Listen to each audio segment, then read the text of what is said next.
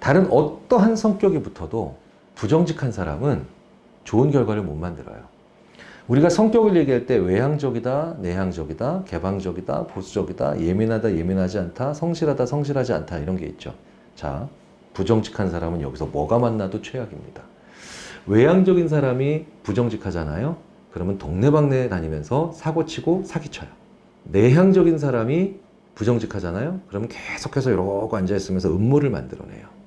예민한 사람이 부정직하잖아요. 그러면 굉장히 많은 경우에 여기 가면서 저기 가면서 온갖 갑질을 하면서 자기 예민함을 소위 말해서 왜곡해요.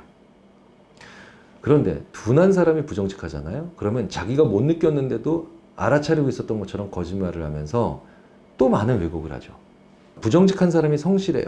이런 사람들이 바로 뭐야? 회사 공금을 차곡차곡 1년에 2억씩 횡령했다가 나중에 회사 딱 무너질 만 할 때쯤 딱 보면은 1년에 10년 동안 20억 횡령해서 딱 튀는 사람이에요. 부정직한데 성실하지도 않아. 이건 뭐 말할 필요도 없는 거죠. 어떤 성격이라도 부정직을 만나면 자기 성격의 단점만 보여주는 거예요. 최악의 단점들만. 그러니까 진실되거나 정직하거나 이런 것들이 되게 중요하죠. 근데 자, 보세요. 겸손이라는 게 또 옆에 있어요. 정직해요. 100% 정직해요. 그럼 이렇게 얘기할 수 있어요. 오늘 입고 오신 이 옷이 참 촌스럽네요. 정직한 거예요. 그렇잖아요. 솔직한 거니까요. 근데 그거는 겸손하지 않은 얘기죠. 어, 교수님, 이번에 적정한 삶, 새로 나온 책 베스트셀러 됐다는데, 어, 정말 좋으시겠어요. 라고 할 때, 아이, 그럼요. 제가 참 잘 쓰죠. 겸손하지 않은 거예요. 하지만 솔직한 거예요. 이게 겸손과 정직이 사실은 되게 똑같은 것 같지만 살짝 서로 반대되는 방향으로 갈 때가 있어요. 그런데 그럼 어느 정도 정직하고 어느 정도 겸손해야 됩니까? 이것도 그때그때 다른 거예요. 누구나 다 가지고 있지만 누구도 안, 안 읽었다는 마이클 샌델의 정의란 무엇인가가 있죠. 정의란 무엇인가가 왜 읽기 어렵냐면 끝까지 읽은 분이 왜 없냐면 매 챕터마다 다 정의라고 얘기하는 게 달라요. 어떨 때는 대를 위해 소가 희생하는 게 정의라고 얘기하고 또 어떨 때는 소를 위해서 대가 또 불편함을 감수하는 게 정의라 그랬다가 또 어떨 때는 굉장히 중요한 가치에 모든 사람들이 바라보는 게 중요하다고 가정이라고 얘기하고 그 읽다 보면 사람들이 헥하고 힘든 거예요. 그런데 맨 마지막까지 읽은 사람들은 더 허탈해하죠. 하지만 그 허탈함이 진짜예요. 마이클 샌델이 끝에 이렇게 얘기합니다. 정의란 정의가 무엇인지 매일매일 끝없이 고민하는 게 정의다. 이게 정의야 라고 단정 짓지 않는 게 정의라는 거예요. 늘 필요할 때마다 고민하는 거예요. 그게 정직과 겸손이 그거예요. 오늘은 내가 어디까지 정직하고 오늘은 오히려 약간 정직보다는 겸손으로 갈까? 매일매일 겸. 그런데 그 고민을 계속해서 주저하지 않고 마다하지 않고 계속해서 오랫동안 하는 사람들 있죠. 그런 분들은 정말 인생의 어느 시점에서 보면 아 원숙하다. 말을 많이 하는데도 말을 많이 하는 것 같지 않고 말을 적게 하는데도 말을 많이 해준 사람과 다르지 않은 거예요. 그 고민을 안 해왔던 사람들은 이런 원숙한 사람들을 이해를 못해요. 그냥 싫고 질투나는 거죠. 최재천 교수님 같은 분을 보면 굉장히 원숙해요. 그런데 이분은 매일매일 고민을 하는 분입니다. 오늘은 여기까지 얘기해야 되나? 오늘은 요 정도는 말을 하지 말아야 되나? 고민을 해요.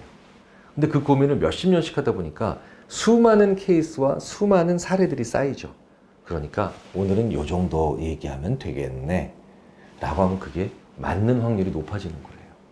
그런데 그게 하나의 규칙대로 딱 해놓고 사는 사람들 있죠. 예를 들자면 이런 거예요. 이럴 땐 다 까. 사람은 무조건 정직한 게 최고야. 다 필요 없어. 겸손이 최고야. 이런 사람들. 가정에서도 많은 거예요. 형이 참는 거야. 이런 집이나 동생이 형 말 들어야지. 이게 고민 없는 집이에요. 원칙 있는 사회, 원칙 있는 사람, 되게 좋은 말 같죠. 근데 그 원칙이 뭐냐는 거예요. 하나의 고정된 규칙이고 그 이후에 나오는 인간의 삼남한상 수천 수만 개를 고민하지 않겠다는 얘기랑 똑같아요. 저는 그래서 원칙 있는 부모가 되려면 어떻게 해야 되냐 라고 하면 저는 이렇게 얘기해요. 원칙 따위는 없습니다. 어떻게 내 첫째 아이와 둘째 아이가 싸워서 내 앞에 왔는데 어떻게 이게 단 한 번이라도 지난 수백 개의 케이스와 수백, 개, 수백 건의 같은 비슷해 보이지만 그것들과 같을 수가 있겠습니까? 매번 그때마다 고민해야 됩니다. 아무리 아무리 중요하고 괜찮은 원칙이라 하더라도 그건 이후에 벌어지는 수많은 일들을 미묘하게 볼 수는 없어요. 고민해야 돼요. 그래서 그래서 법으로 세상을 다스릴 수 없는 겁니다. 개인적으로 그래서 저는 법 전공한 사람이 이렇게 정치인이 많은 나라는 정상적인 나라가 아니라고 봐요. 그 사람들은 원칙 가지고 해야 되는 사람들이거든요. 그런데 우리 사는 삶은 원칙만 가지고는 절대로 판단할 수 없는 수만 가지 미묘함이 있는 사회예요. 거기에 고민을 계속해서 해야 되고 그 고민에 쓰는 양이 아깝지 않고 그리고 그걸 마다하지 않는 게 정상적이고 그리고 더 문명적인 사회예요. 확률과 그 다음에 사건의 생생함은 달라요. 그게 무슨 얘기냐면 다 필요 없고 남 짓밟고 올라가야 돼 라고 얘기하지만 실제로 우리는요 지금까지 지난 수십만 년 동안 이타적인 사람이 더 오래 생존하게 되도록 더 생존력이 높게, 높도록 설계되어 왔어요. 그런데 우리가 기억에서 특이한 게 딱 발생하면 그게 오히려 더 지배적이고 더 많은 사건으로 자꾸 담기 때문에 그렇습니다. 호랑이도 제 말하면 온다는 얘기 들어보셨죠? 호랑이, 호랑이, 호랑이. 왜 안 나타나요? 그죠?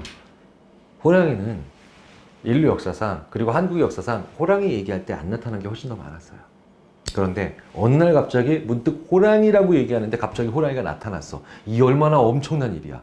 그러니까 기억에 생생하게 그리고 아주 엄청나게 큰 사건으로 담기죠.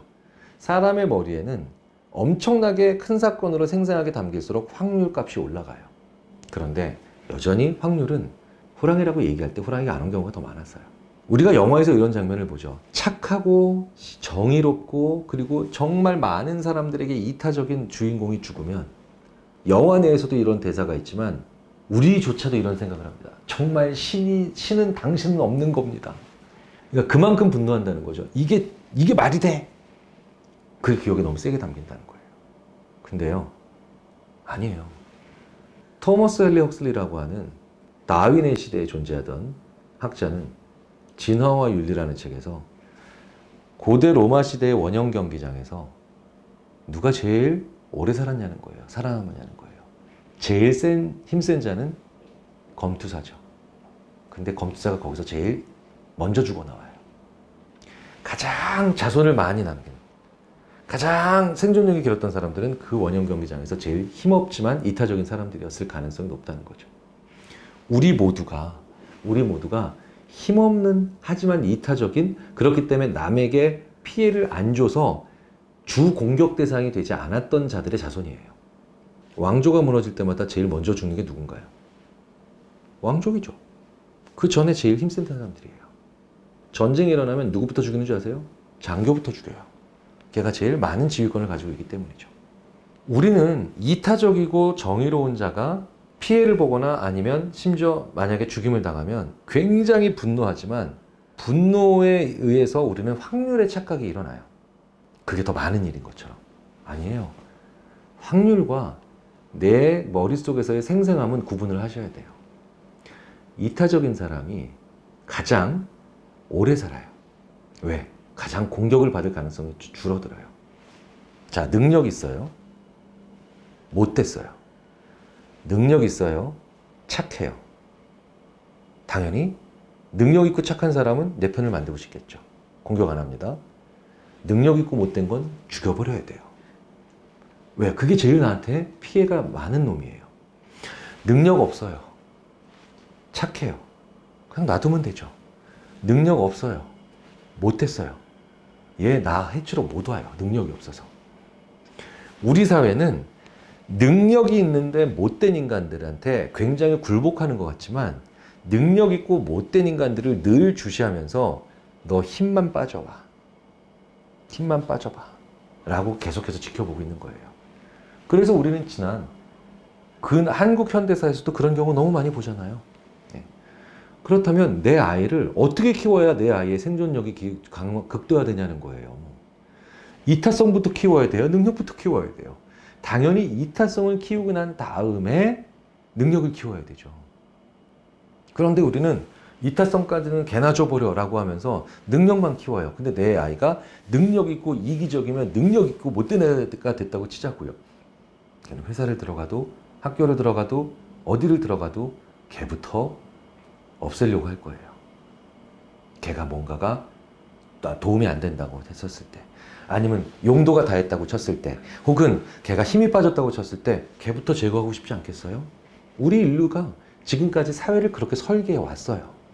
못되고 강한 자, 못되고 능력 있는 자부터 가장 먼저 죽였다니까요.